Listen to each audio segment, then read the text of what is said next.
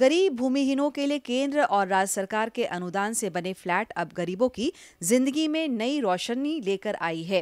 PM Awas Yojana के तृतीय घटक के तहत खूंटी जिला अंतर्गत बुंडू नगर पंचायत क्षेत्र में आज लॉटरी के माध्यम से मात्र पाँच हज़ार की शुरुआती बुकिंग राशि देकर बासठ लाभुकों के रजिस्ट्रेशन की प्रक्रिया आरंभ की गई। एक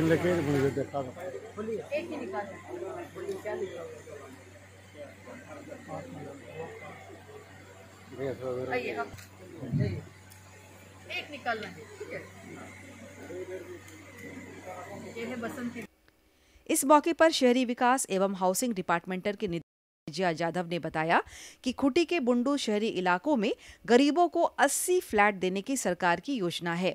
लगभग तीन करोड़ से बनने वाली इस योजना के तहत प्रति लाभुक 313 वर्ग फीट क्षेत्रफल में आवास निर्माण कराया जाएगा, जिसमें विकलांगों और अन्य विशेष परिस्थिति में जरूरतमंदों को ग्राउंड फ्लोर के फ्लैट उपलब्ध कराए जाने की योजना है। प्रधानमंत्री आवास योजना तृतीय घटक के अंतर्गत आज यहाँ पे आवास के अलॉटमेंट का प्रोग्राम था। लगभग यहाँ पे 80 घर बन रहे हैं, जिसमें से बासठ लोगों को बासठ लोगों ने रजिस्ट्रेशन किया है।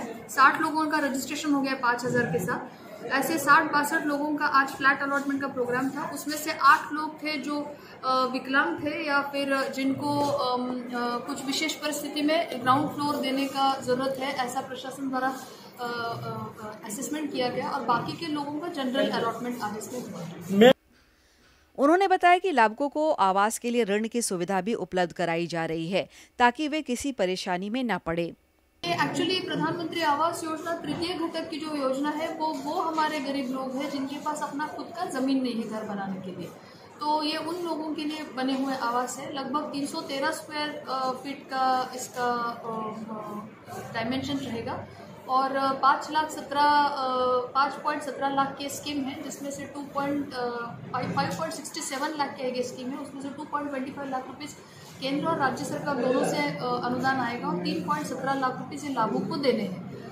सरकार की महत्वाकांक्षी पीएम शहरी आवास योजना तृतीय घटक निश्चित रूप से गरीब भूमिहीनों के लिए वरदान साबित हो रही है, जिससे लोगों के सपने साकार हो रहे हैं। खुटी से ज्योत्सना की रिपोर्ट।